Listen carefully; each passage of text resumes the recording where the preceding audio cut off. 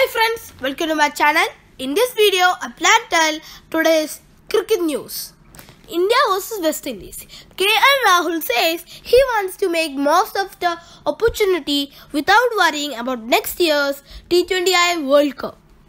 Handed a chance to open the innings for India in the T20I series against the West Indies, KL Rahul says he will be looking to make most of the opportunities but doesn't want to worry about sealing his T20I World Cup berth.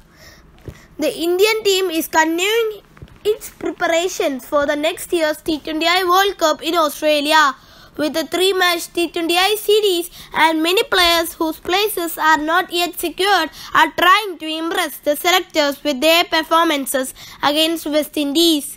KL Rahul, who was promoted as an opener in the, in the absence of injured Shikhar Dhawan, grasped the chance with both hands by scoring a 40 ball 62 runs to help India record their highest successful run chase in a T20 internationals 208 runs. It's a T20 it's a T20 World Cup a long way honestly. I have got the opportunity to bat top of the order again after a couple of series so looking forward to just make the best use of it KL Rahul say. Today was a good outing and a good hit in the middle order and hopefully I can continue the same thing without worrying about October's next year's T20I World Cup. There is a lot of games before that.